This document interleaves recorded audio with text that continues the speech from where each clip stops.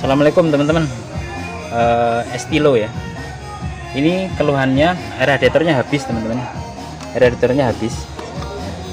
Habis. Terus ada kebocoran di dalam. Nah itu. Bocor di dalam situ teman-teman ya. Bocor parah dari situ. Analisanya ini dari heater core-nya atau bilang orang itu radiator dalam lah ya seperti itu.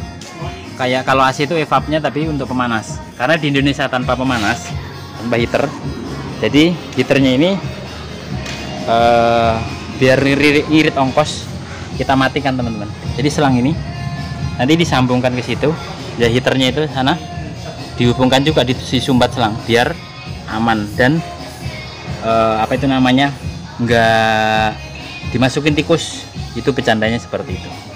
Oke nanti jadinya seperti apa? Setelah jadi kita videokan ulang teman-teman Oke, terima kasih teman-teman. Lanjut kita kerjain dulu, baru nanti kita videokan. Nah, ini teman-teman ya. Ini sudah kita pasang selang buntunya di sini. Nah, ini kita langsungin tanpa malah uh, tanpa masuk ke heater. Heaternya di sana. Nah, sudah kita sumbat teman-teman ya. Kita bikin rapi. Jadi uh, apa namanya? Heaternya sudah terbentuk uh, tersumbat. Tidak akan dimasuki tikus, dinosaurus dan lain sebagainya. Ini hmm, sudah sip. Sip teman-teman sip sudah masuk ke uh, keluar masuknya. Jadi tidak akan melalui heater jadi heaternya kita matikan. Karena di Indonesia saya yakin eh, nggak uh, perlu heater. Karena di sini cuacanya sudah panas. Jadi sudah suasana politik panas hidup panas.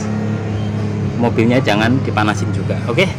Sekian teman-teman itu tips untuk Suzuki Estilo kalau misalnya heaternya bermasalah.